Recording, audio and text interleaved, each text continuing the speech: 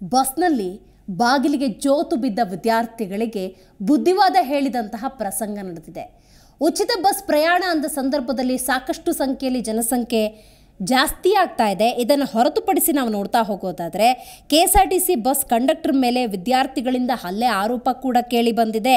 ಬಸ್ನಲ್ಲಿ ಬಾಗಿಲಿಗೆ ಜೋತು ಬಿದ್ದು ವಿದ್ಯಾರ್ಥಿಗಳು ಹೋಗ್ತಾ ಇರ್ತಾರೆ. ಆ ಸಂದರ್ಭದಲ್ಲಿ ಒಂದಷ್ಟು ಬುದ್ಧಿವಾದ ಕೂಡ ಹೇಳಿದ್ದಾರೆ. ಬಾಗಲಕೋಟೆ ತಾಲೂಕಿನ ಗದ್ದನಕೇರಿ ಗ್ರಾಮದಲ್ಲಿ ನಡೆದಿರುವಂತಹ ಘಟನೆ ಇದು. ಬಸ್ ಒಳಗೆ ನಡೆಯಿರಿ ಅಂತ ವಿದ್ಯಾರ್ಥಿಗಳಿಗೆ ಕಂಡಕ್ಟರ್ ಹೇಳ್ತಾರೆ. ಕಂಡಕ್ಟರ್ ಆ ಕಂಡಕ್ಟರ್ಗೆ ಕಿಂಡಲ್ ಮಾಡಿದ್ದಾರೆ ವಿದ್ಯಾರ್ಥಿಗಳು. ವಿದ್ಯಾರ್ಥಿಗಳು ಹಾಗೂ ಬಸ್ ಕಂಡಕ್ಟರ್ ನಡುವೆ ಮಾತಿನ ಚಕಮಕಿ ಉಂಟಾಗಿದೆ. ಮಾತಿಗೆ ಮಾತು ಬೆಳೆದು ಕಂಡಕ್ಟರ್ ಹಾಗೂ ವಿದ್ಯಾರ್ಥಿಗಳ ನಡುವೆ ಜಗಳ ಹೆಚ್ಚಾಗಿದೆ. ಕಂಡಕ್ಟರ್ ಮೇಲೆ ಜಗಳದ ಸಂದರ್ಭದಲ್ಲಿ ಆ ವಿದ್ಯಾರ್ಥಿಗಳು ಹಲ್ಲೆ ಕೂಡ ಮಾಡಿದ್ದಾರೆ. ಗದನಕೇರಿ ಗ್ರಾಮದಲ್ಲಿ ಡ್ರೈವರ್ ಹಾಗೂ ನಿರ್ವಾಹಕರು ಬಸ್ಸನ್ನು ನಿಲ್ಲಿಸಿ ರಸ್ತೆ ಮಧ್ಯದಲ್ಲಿ ಇತ್ಯರ್ಥ ಮಾಡುವಂತಹ ಪರಿಸ್ಥಿತಿ ನಿರ್ಮಾಣವಾಗುತ್ತೆ. ಆ ಸಂದರ್ಭದಲ್ಲಿ ಒಂದಷ್ಟು ಗ್ರಾಮಸ್ಥರು ಅಲ್ಲಿ ಜಮಾವಣೆಗಳ್ತಾರೆ. ವಾಗ್ವಾದ ನಡೆಯುತ್ತೆ, ಗಲಾಟೆ ನಡೆಯುತ್ತೆ.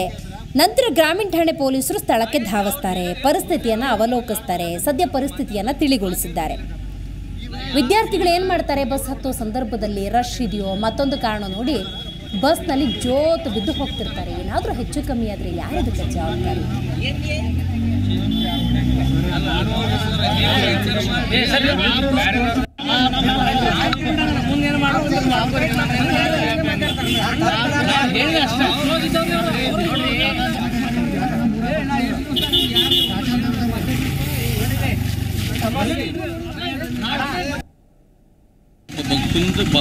ಕುಂದ ಬ- ಕೊಟ್ಟಿ ಬರೋ ಗಾಡಿ.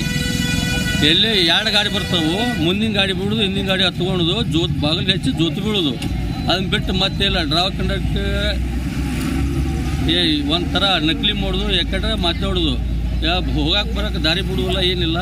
ಅಡ್ಡ ತಡ್ ಅಡ್ಡ ತಿಡ್ಡ ನಿಂತ್ಕೊಡೋದು ಡಬಲ್ ಡೋರ್ ಗಾಡಿ. ಈ ಡಬಲ್ ಡೋರ್ ಗಾಡಿಯಿಂದ ಮುಂದಿನ ಬಾಗಿಲು ಹತ್ತೋರು, ಹಿಂದಿನ ಬಾಗಿಲಿ ಹತ್ತೋರು ಅವರು. ಹೇಳ್ರಿ ಅವ್ರು ಈ ಥರ ಮಾಡಿದ್ರೆ ನಾವು ಹೆಂಗೆ ಅವ್ರನ್ನ ಅಡ್ಜಸ್ಟ್ ಮಾಡ್ಬೇಕು ಹೊಳ್ಳಿ ನಮಗೆ ಎರಡು ಮೂರು ಏಟ ಪಡ್ಕೊಂಡ್ರು ಅವರು. ಏನ್ರಿ? ನಾವು ಏನು ಬಿಡಪ್ಪ ಅಂತ ಅಂದ್ರೂ ಆ ಈ ಡೈಲಿ ಇದ ರೂಟ್ ಮಾಡ್ತೀವಿ ಇಲ್ಲ ಅಂತೇನಿಲ್ಲ ಅವರು ಆಟ ನಿಂತು ಬಿಡು ಮೈ ಒತ್ತುವುದು ದಾರಿ ಬಿಡುವುದಿಲ್ಲ ಏನಿಲ್ಲ ನನ್ನ ಜೊತೆ ಈ ಥರ ಜಗಳ ಮಾಡ್ಕೊಂಡು ಬರ್ತಾರೆ ಅವ್ರು. ಯಾವ ಶಾಲೆ ಹುಡುಗರು? ಏನ್? ಯಾವ ಕಾಲೇಜ್ ಹುಡುಗರು? ಅವ್ರು ಬಸ್ ಕಾಲೇಜ್ ಹುಡ್ರಿ. ಕವಳಿಯಿಂದ ಕವಳಿಂದ ಇದಕ್ಕೆ ಬರೋರಿ ಅವ್ರು ಬಾಗಲಕೋಟೆ ಬರೋವ್ರಿ